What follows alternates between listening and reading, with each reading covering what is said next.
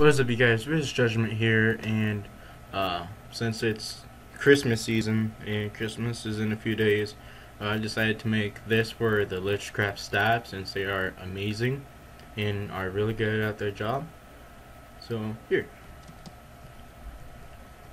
As you see, I made a tree with the star on top, and I made presents for the whole staff. and I bet you guys are wondering why the, what this lever is for. Uh, so I'm gonna quick pull it and come back. As you see, I made a fully automatic light up tree. uh, this is on survival, and the warp will be. Uh, let's just set it now.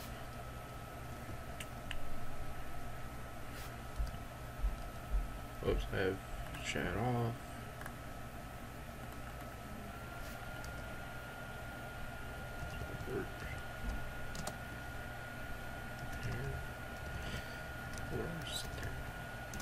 There.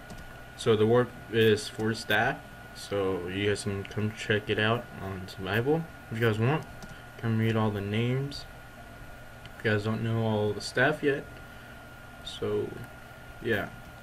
Um, this all together took me took me about three hours to make for all the redstone I had to do and make sure uh, every single torch inside was inverted.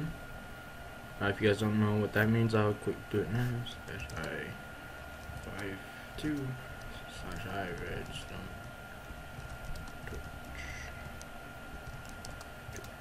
redstone. so basically, what inverted means, you have a block down and you place a uh, redstone torch on it. As you see, it's on.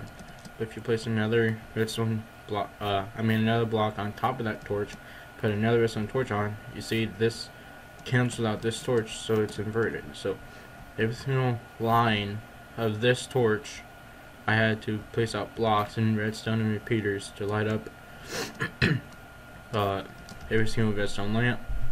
So again, Merry Christmas, Lichcraft staff and whole Lichcraft family. Uh, so yeah, again, slash warp for staff, and Merry Christmas, you guys. Bye.